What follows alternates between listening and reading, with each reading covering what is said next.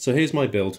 Um, I had built everything properly um, and set it up with my NH-D15 which was looked amazing. Everything was fitted properly. I watched loads of videos to make sure that everything was lined up properly and correctly.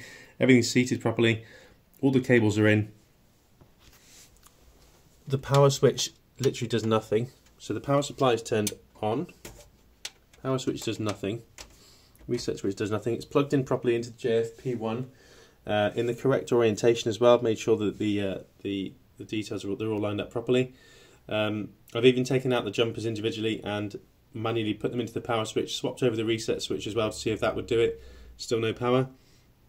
Um, I've taken out the motherboard cable and I've done the, the jumper um, power switch short, which um, powered everything on, obviously apart from the motherboard. Um, so that's not the issue. Um, someone suggested doing a BIOS reset, so I've got the USB stick plugged in the back, and I've just, if I press the button now, see it start flashing red, and suddenly it made everything jump into life. However, we've got the CPU light on here. So that CPU light isn't a good sign. So I've had to take the um, the cooler back off. Um, I've reseated the CPU, made sure the plugs were plugged in properly. Um, there's no bent pins, everything looks like it's in order. Uh, again, I've followed lots of videos to make sure that the, the cooler installation went perfectly. Um, a decent amount of thermal paste, good spread. And yeah, so don't know whether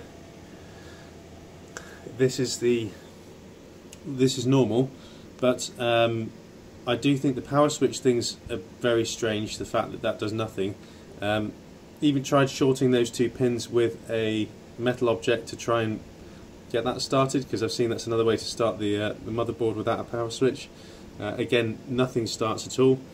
Um, so I think it might be a motherboard issue, but I, yeah, I just want to make sure that before I have to RMA it. Um, I know it's showing the CPU light, but I think the fact that it's not powering on shows that there is a problem with the motherboard. So if someone can clarify that, that'd be amazing. Thank you.